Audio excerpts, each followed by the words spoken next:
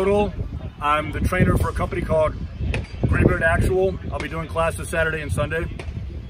They asked me to come out and do like a really brief Q&A with you guys. It's not so much a demo as it is just kind of talking about training and maybe showing some things if you have any questions. And unless somebody else has a question they really want to ask, I figured I'd talk about how I classify training drills. I think that's really important. So everybody good for that? You good with that? All right.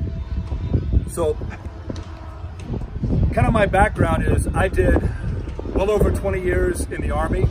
Um, began in active duty and then I was in 20th Special Forces Group, which is a part-time SF unit. And I also did 21 years with Chicago PD. I wrapped up there as the training coordinator for the SWAT team.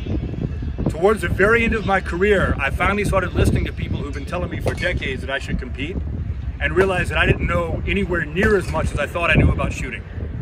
So well over two decades of shooting at what I thought was a very high level, and I had more to learn than I ever thought I would have had to learn when I started competition. And I think there's a couple of key factors to that, right? One is that competition shows you how good good really is. You know, when you show up to a match, like most of us like look on YouTube and we see the world and national champions. We know how good Ben Stoeger and Bob Vogel and all those guys are. What we don't realize is when we show up to the local match, how good the IT guy and the construction worker are, right? So I showed up to my first USPSA match as a 20-year Green Beret and like a 15-year SWAT guy and got my lunch money taken by an IT guy who'd never carried a gun for a living, right? So I had two choices then. I could either just kind of go back and say, well, that's that's just competition and that'll get you killed in the street and just shore up my ego or I could figure out why these guys could shoot rings around me after everything I'd done in my life. So I figured I'd go ahead and put on my big boy pants and take option number B, right? Competitors train like athletes. And for all that we throw out the phrase tactical athlete all the time, institutionally, as organizations, we very seldom actually train like athletes. And really, an SFODA or a SWAT team is a basically a professional sports team with the world's highest stakes right? Everybody here who's on a SWAT team, you are a professional athlete. You are getting paid by your department for your athletic skill. And I personally think we should train like athletes. And that's not just shooting, that's CQB, that's everything across the board, right? So I had a very painful couple of years where I lost matches trying to figure out how to make myself better because I had to undo decades of habits that I had before. I made master class in USPSA in just a few months because of everything I'd done before, and then promptly got stuck there and couldn't win master class at a match because I had to figure out what I was doing wrong, right? And that's kind of a long-winded explanation for how I came up with my training philosophy, which is really what my classes are about. They're not about the individual skill and technique of shooting per se. They're about how to train yourself after the class so that you keep getting better in the years to come so you can max out your skill level in five to six years instead of spending decades on it like I did and not even being close, right? And I think there's some common mistakes we make in our shooting training. And one of those is the way we structure our drills.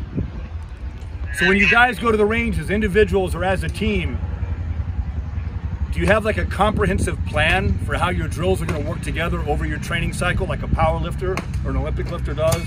Or somebody who performs in the NFL or some other high level of sports, or just kind of go out there and go, hey, this was a cool drill on YouTube, I'm gonna shoot this, right? That's what we typically do, it's what I did too. You've gotta break these things up. And kind of the framework I came up with was I classified drills as experimentation work, isolation work, combination work, and then testing. And I think all of those are really, really important to your training, especially if you have to be your own coach, which most of us really have to be right?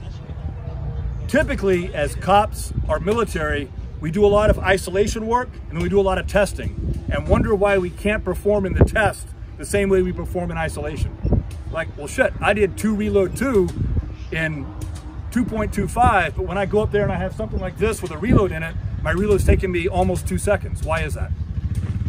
It's because when you combine skills under stress, your performance on the individual skill degrades. So you have to act, you have to actually train that, right? You have to actually train how to combine things under stress. That's what led to the combination drills. Experimentation drills, this was a really hard pill for me to swallow because all of us typically take as dogma what we're taught, right? There's a quote, the guy who wrote uh, Silence of the Lambs and Hannibal, the opening line of the book Hannibal is, technique is the religion of the dangerous trades, right? That means we look at technique as what will get us through the bad day. And that is correct. The problem is the technique has to be optimized for you. And the example I always use for this is grip, right? I am basically the missing link. I am built like an orangutan. My thumbs don't oppose, and my hands are like flippers. I could swim through air, right? Where's my Burger King commercial hands guy? There's always one here. Who's got tiny hands? Uh, I see you trying to hide. So, yep. my grip is not going to look like his grip, right? When you watch those YouTube videos of the top shooters, Robert Vogel's grip looks nothing like Ben Stoeger's grip because their physical structure and attributes are different and their psychology is different. But both of their grips accomplish the same thing, which is to mitigate recoil and return the gun to the initial point of aim consistently, reliably, rapidly under stress, right? You have to figure out how your technique is going to work for you. Who here watches MMA? All right. I expected more hands because, you know, we're all heterosexual males here, but that's okay. all right, so your top fighters, does everybody's technique look exactly the same? Not even close, right? They've optimized the principles of those techniques for themselves. I was always afraid to experiment because I thought it would slow down my progress. And then once I realized how important it was and started to put it into my training, it didn't slow it down at all. It accelerated it because I was able to figure out how the technique works for me. What makes it good for me. Everybody understand? So don't be afraid to do the experimentation drills. That's where you figure out your technique. Then you have the isolation drills, which is what we all do already, right? That's where you sharpen and polish the technique you figured out.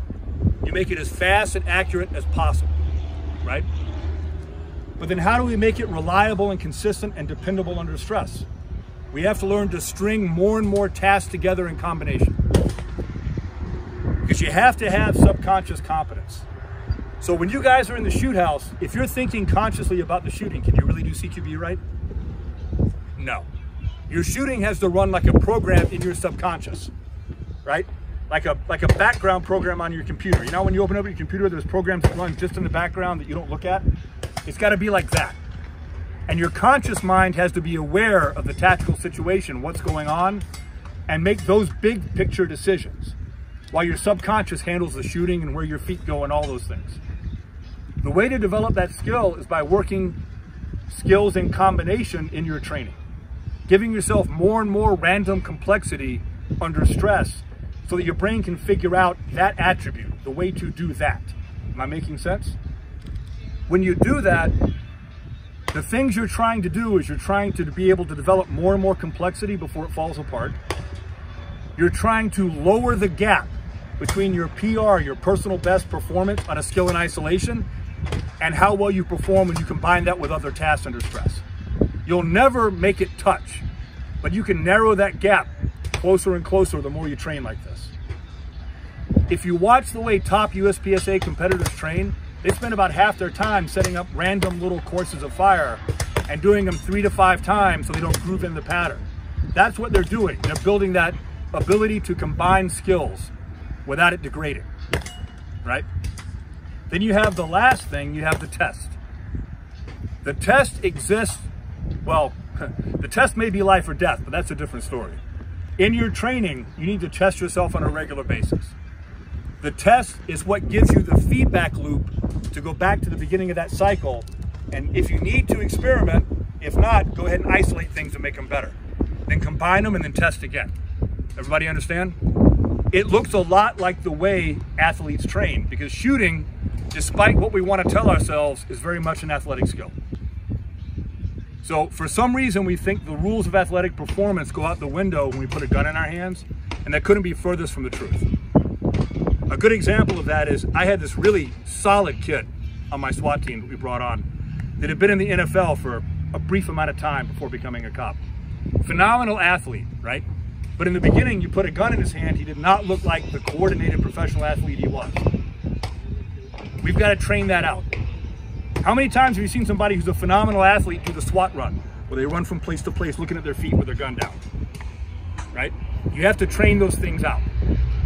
So this is a real quick down and dirty of what my class is about this weekend. Is how to construct your training, how to template it, how to do the feedback loop, how to collect the data, how to self-coach so that you can reach your potential as a shooter as rapidly as possible. So now I'm gonna turn the floor over to you guys and if you guys have any questions or you want me to elaborate on any of this, how much time do I have left? One minute. One minute. Really? We can answer questions off to the side. Okay. All right. So we've got pretty much done. All right.